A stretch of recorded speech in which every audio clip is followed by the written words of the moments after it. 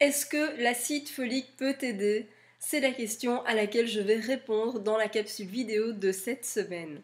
Bonjour et bienvenue dans la capsule vidéo de Positive Mind Attitude. Je suis ravie de te retrouver comme chaque semaine pour notre rendez-vous dans une capsule vidéo dans laquelle eh bien, je te donne tout un tas de conseils pour t'aider à avancer dans tes essais bébés.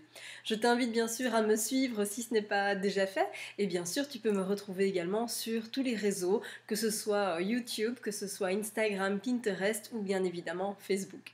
Tu as aussi la possibilité à demander à faire partie du groupe Facebook c'est un groupe euh, très bienveillant qui te permet justement eh bien, d'échanger avec d'autres femmes qui vivent le même parcours que toi et bien sûr eh bien, de bénéficier de conseils en direct au sein de la communauté. Alors évidemment, c'est peut-être une question que tu ne t'es jamais posée. En tout cas, moi, je t'invite à le faire. C'est de savoir si l'acide folique peut t'aider dans tes essais bébés. Alors l'acide folique, c'est quoi? C'est de la vitamine B9. Il est fort probable que ton médecin t'en ait déjà prescrit sous forme de complément alimentaire à prendre en vue de préparer ta grossesse. Alors c'est vrai que jusqu'ici, euh, on se doutait évidemment, donc on savait déjà que euh, l'acide folique, donc la vitamine B9, eh bien, était vraiment indispensable pour t'assurer, euh, enfin pour assurer en tout cas au bébé, à l'embryon, eh bien d'avoir une excellente formation du système nerveux. D'accord? Donc ça c'est vraiment l'objectif de la vitamine B9, c'est à ça en tout cas qu'on pensait qu'elle servait. Alors c'est tout à fait vrai, évidemment, cette vitamine sert à une excellente formation du système nerveux de bébé. Donc ça c'est une chose. Mais ce qu'on sait moins, c'est que euh, l'acide folique peut également permettre de euh, réduire le risque de fausse couche. Et donc c'est aussi quelque chose qui te concerne si jamais tu as déjà euh, vécu cette épreuve, si tu as déjà toi-même vécu une fausse couche, et je sais que toi qui me regardes en ce moment, c'est peut-être ton cas parce que je reçois énormément de courriers de messages par rapport à, ça. Et donc j'avais évidemment envie de te parler de ça parce qu'on en parle un peu moins. Et donc c'est important aussi de, pouvoir être consciente qu'il y a des choses à faire. Et c'est vrai qu'il y a euh, plusieurs études qui ont démontré que les femmes qui faisaient euh, une fausse couche, eh bien, avaient vraiment des carences en vitamine B9. Et donc ça vaut effectivement la peine de se renseigner, et en tout cas ça peut se mesurer par une simple prise de sang. Et donc ça vaut la peine en tout cas de poser la question à ton médecin. Alors évidemment, je te parle de ça parce que euh, la vitamine B9, c'est quelque chose de, très important et on en prend sous forme de complément alimentaire, bien sûr, euh, quoique ce ne soit pas systématique, euh, mais on ne pense pas toujours à en prendre de façon naturelle, à en consommer, et eh bien tout simplement à travers l'alimentation. Alors, quelles sont les sources finalement de vitamine B9? Eh bien, c'est simple, ce sont tous les légumes à feuilles vertes. Et donc, ça va être essentiellement les épinards, les salades, etc. Ce sont des, aliments qui sont très très riches en vitamine B9 et donc qui euh, t'apportent un, grand apport d'acide folique justement. D'accord? Donc ça c'est vraiment quelque chose de très très très important.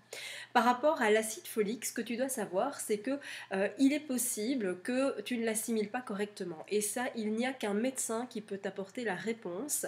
Pourquoi? Parce que ce qu'on constate très fréquemment c'est qu'il y a une mutation d'un gène qui s'appelle le gène MTHFR et qui entraîne finalement euh, le fait de, ne pas assimiler l'acide folique. Et donc c'est vraiment très important d'en parler à ton médecin parce que euh, parfois le simple fait eh bien, d'identifier qu'il y a une mutation de, ce gène MTHFR eh bien, te permet euh, de, prendre des, comment dire, une alternative pour permettre à ton organisme d'assimiler malgré tout l'acide folique. Donc ça c'est vraiment très important et donc ce que je t'invite à faire c'est vraiment à poser la question à ton médecin de savoir si effectivement on a déjà euh, mesuré eh bien, ton taux d'acide folique dans, l'organisme, voir si ton taux est, est correct ou si tu as une carence.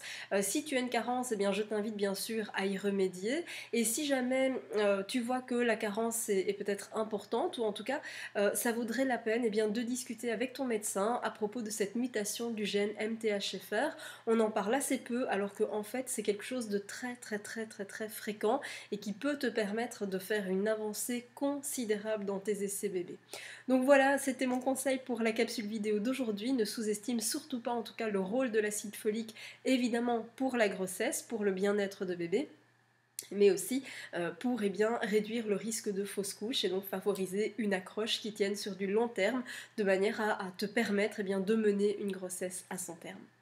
C'était Mia de Positive Mind Attitude, j'espère donc que cette capsule vidéo t'a aidé. Je t'invite bien sûr à me retrouver et à me suivre de manière à pouvoir bénéficier d'un nouveau conseil sous forme de capsule vidéo. Bien sûr, tu peux également retrouver euh, l'information dans mes newsletters. Je publie une fois par semaine euh, encore d'autres conseils que j'envoie euh, par email. Et puis bien sûr, si tu as envie de faire des pas de géant, si tu as envie de concrétiser tes essais bébés et surtout de les vivre d'une toute autre façon, d'arrêter de subir mais enfin de pouvoir agir, eh bien je serai ravie de t'accompagner. Tu peux bien sûr aller visiter mon site internet www.positivemindattitude.com et tu peux bien sûr également me contacter ou m'envoyer euh, un commentaire euh, par rapport à, cette vidéo et je me ferai un plaisir eh bien, de pouvoir t'aider à avancer dans tes essais bébés.